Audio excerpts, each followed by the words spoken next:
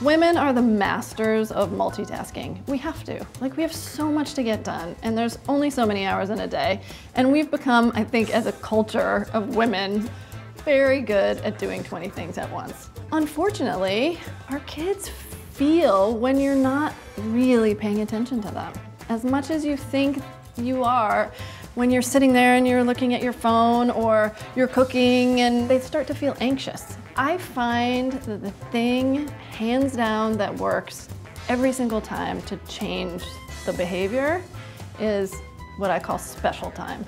Special time is where you set up 15 minutes a day where you do absolutely nothing except focus on your kid.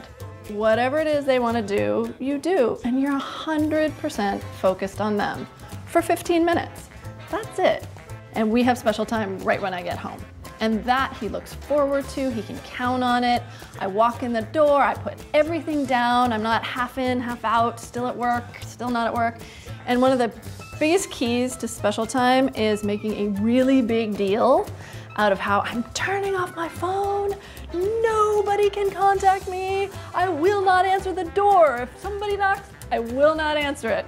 I will not do anything except be with you. It's also a really good transition for me because it grounds me back at home with my kid where I really need to be focused on him rather than on everything else in my life. When we are consistently doing special time, I see that Jack is much less clingy, much more um, just easygoing and comfortable in his own skin. I mean, it really makes him feel supported and loved when he knows he can count on it. You know, and we slip out of it. We don't do it all the time. And then suddenly I'll, I'll, I will realize that he's acting up again. You know, something's going on and we gotta touch base and we gotta do special time. The thing about special time is it's only 15 minutes. Anyone can do 15 minutes.